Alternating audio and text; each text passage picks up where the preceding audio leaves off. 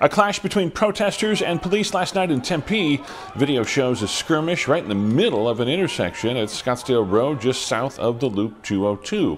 ABC 15's Mike Pelton reaching out to both sides today and also taking a look at the bigger issue of police reform in the valley.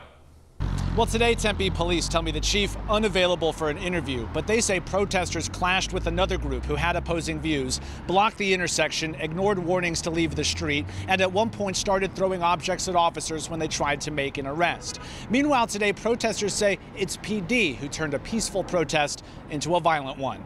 Nobody touched the cops. Nobody said anything to the cops. They just rushed us and that's when everything got out of hand. Cell phone video shows part of the skirmish in the middle of Scottsdale Road Monday night. Officers deploying pepper spray as Tempe police say an officer hit in the face with an object and required stitches as several groups protesting the law enforcement shooting deaths of Dion Johnson this year and Dalvin Hollins in 2016. Some protesters, though, say all they did was block traffic. Officers get this sense in them that they want to tackle people and brutalize people for conducting a misdemeanor offense. Tempe police releasing mugshots of the seven arrests. Their alleged crimes ranging from aggravated assault on police to obstructing a public thoroughfare. The incident, one of many protests around the valley, often peaceful and calling for changes to policing. In June, Democrats called for a special session at the Capitol on police reform.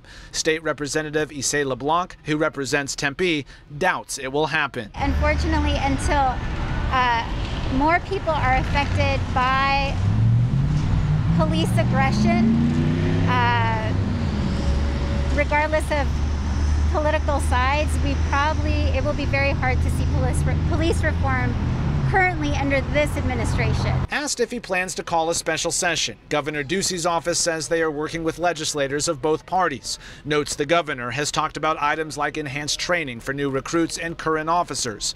Part of a statement reads, quote, we're learning and listening. This will continue to be an ongoing conversation, more to come. Are we seeing progress? Yes. But is that progress a drop in the bucket, a very big bucket? Yes. Jamar Williams with Black Lives Matter Phoenix Metro says if no special session, they'll see legislators at the regular one, saying the city of Phoenix funding a citizen review board and Phoenix police banning a form of a chokehold, just a few pieces to a much bigger puzzle. We have a long way to go, but it is reassuring to see people willing to put their to put their bodies on the line for what's right.